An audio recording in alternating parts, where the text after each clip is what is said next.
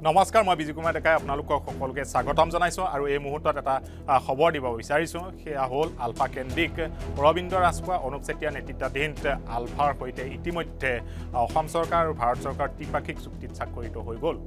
বিগত বৰ্ষৰ ঊনত্ৰিছ ডিচেম্বৰ তাৰিখে কেন্দ্ৰীয় গৃহ মন্ত্ৰালয় নতুন দিল্লীত কেন্দ্ৰীয় গৃহমন্ত্ৰী আৰু অসমৰ মুখ্যমন্ত্ৰী ডক্টৰ হিমন্ত বিশ্ব শৰ্মাৰ উপস্থিতিত এই ত্ৰিপাক্ষিক চুক্তিখন স্বাক্ষৰ হোৱাৰ পাছত আলফাৰ ভৱিষ্যত বা- আলফাৰ কেন্দ্ৰীয় নেতৃত্ব বাকী যিসকল দ্বিতীয় পৰ্যায়ৰ নেতা বা তেওঁলোকৰ সাধাৰণ যিসকল কেডাৰ সেইসকলৰ ভৱিষ্যতক লৈ পেলাই বিভিন্ন প্ৰশ্ন অৱতাৰণা হৈছিল চৰ্চা চলিছিল যিখন ত্ৰিপাক্ষিক চুক্তি আলফাই ছয়চল্লিছ বছৰীয়া সশস্ত্ৰ সংগ্ৰামৰ অন্তত ভাৰত চৰকাৰ আৰু অসম চৰকাৰৰ সৈতে কৰিল সেই বিষয়ক লৈ পেলাই বিভিন্ন মহলত বিভিন্ন প্ৰতিক্ৰিয়া সূচনা হ'ল। সৰ্বসাধাৰণ ৰাইজে ছ'চিয়েল মিডিয়াত বিভিন্ন দল সংগঠনৰ নেতৃত্বই ছ'চিয়েল মিডিয়াতে হওক বা সংবাদ মাধ্যমৰ সন্মুখতেই হওক বা ৰাজনৈতিক দল সংগঠনসমূহেও ইতিমধ্যে এই চুক্তিখনক লৈ পেলাই সৰব হোৱা পৰিলক্ষিত হ'ল আৰু আলফাৰ কেন্দ্ৰীয় নেতৃত্বক চোকা ভাষাৰে সমালোচনা কৰিল। আচলতে ছয়চল্লিছটা বছৰ সশস্ত্ৰ সংগ্ৰাম যি সময়ত আলফাই কৰিলে তাৰ পাছত বাৰ বছৰ তেওঁলোকে ভাৰত চৰকাৰ আৰু অসম চৰকাৰলৈকে সৈতে আলোচনা কৰিল। তাৰ পাছত আচলতে এই যি চুক্তি স্বাক্ষৰ কৰিলে বিগত বৰ্ষৰ ঊনত্ৰিছ ডিচেম্বৰ তাৰিখে সেই চুক্তি আচলতে অসমবাসীক কি দিলে আলফাই কি আনিবলৈ সক্ষম হ'ল? প্ৰায় কুৰি হাজাৰতকৈ অধিক লোক ঘূণীয়া হ'ল হতাহত হ'ল বহু নিৰ্যাতন অত্যাচাৰ উৎপীড়নৰ সন্মুখীন হ'ল নিৰাপত্তাৰক্ষীৰ হাতত অসমৰ বিভিন্ন লোক। তাৰ পাছত চৈধ্য হাজাৰতকৈ অধিক অসমীয়া ডেকা গাভৰুৱে ইয়াত প্ৰাণ দিবলগীয়া পৰিৱেশৰ সূচনা হৈছিল। ইয়াত নিৰাপত্তা বাহিনীৰ লোকো ইয়াত আলফাৰ আক্ৰমণত নিহত বা আহত হ'বলগীয়া পৰিৱেশ সূচনা হৈছিল। এই ইয়াৰ পাছত যিখন চুক্তিত স্বাক্ষৰ হ'ল সেই চুক্তিৰ জৰিয়তে আচলতে এই নিৰ্যাতিত লোকসকল বা যিসকল নিখোজ হ'ল আহত হ'ল ঘূণীয়া হ'ল সতীৰ্থ হৰণ হ'ল সেইসকলে আচলতে কি পালে? এই লৈ বিভিন্ন বাক বিতণ্ডা সূচনা হ'ল কিন্তু শেহতীয়া তথ্য আমি জনাব বিচাৰিছোঁ যে আলফা ভংগ হ'বলৈ আগবাঢ়িছে। অৰ্থাৎ আলফা ইতিহাসৰ পাতত লীন হ'বলৈ উপক্ৰম হোৱা দিন আহিছে বা সময় আহিছে। বিহুৰ আগত অৰ্থাৎ মাঘ বিহুৰ আগে আগে হোৱাৰ কথা আছিল আলফা ভংগ। কিন্তু চৰকাৰী কেতবোৰ কাৰ্যসূচীত ব্যস্ত থকা থাকিব লাগিব।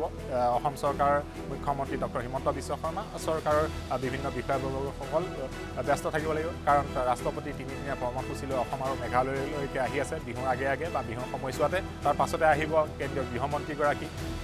এই পৰিপ্ৰেক্ষিতত ঊনৈছ জানুৱাৰীৰ পূৰ্বে আলফা ডিছবেণ্ড হোৱাৰ সম্ভাৱনা নাই। কিন্তু ছাব্বিছ জানুৱাৰীৰ আগত বা ছাব্বিছ জানুৱাৰীৰ পাছত কোনো এক নিৰ্দিষ্ট দিনত সংযুক্ত মুক্তি বাহিনী অসম অৰবিন্দ ৰাজখোৱা আৰু অনুপ চেতিয়া নেতৃত্বাধীন এই সশস্ত্ৰ সংগঠনটো আৰু নাথাকিব। এক গুৱাহাটীত আয়োজিত হ'বলগীয়া এক চৰকাৰী অনুষ্ঠানত সকলো অস্ত্ৰ শস্ত্ৰ চৰকাৰৰ হাতত অৰ্পণ কৰিব আৰু তেওঁলোকে অস্ত্ৰ সম্বৰণ কৰাৰ সেই দিনটোতে আল- আলফা ডিছবেণ্ড বুলি ঘোষণা কৰা হ'ব।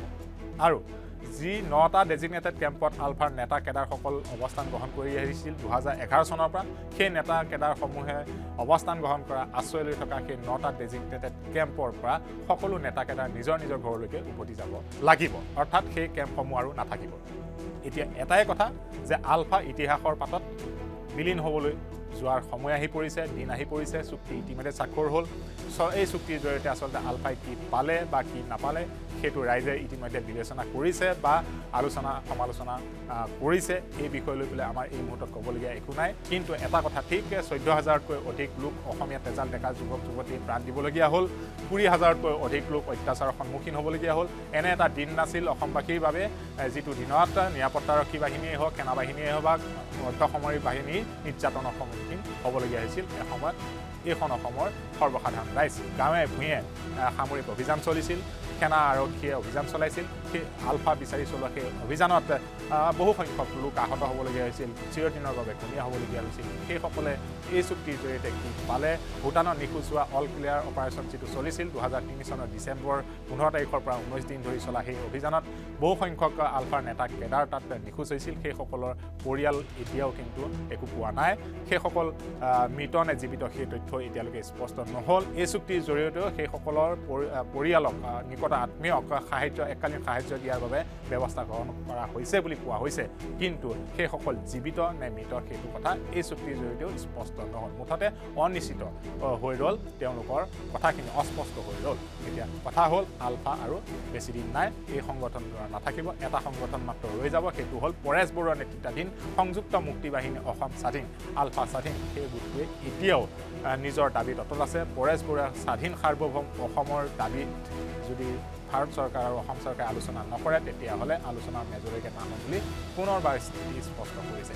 অৰবিন্দ ৰাজখোৱা আৰু অনুপ চেতিয়াৰ নেতৃত্বাধীন গোটটোৰ সৈতে হৈ যোৱা চুক্তিৰ পাছত এতিয়া জানুৱাৰী মাহৰ শেষৰ ফালচোৱাত ছাব্বিছ জানুৱাৰী নহয় বা ছাব্বিছ জানুৱাৰীৰ আগত বা ছাব্বিছ জানুৱাৰীৰ পিছত সংগঠনটো আনুষ্ঠানিকভাৱে ডিছবেণ্ড হ'ব বা ভংগ হৈ যাব।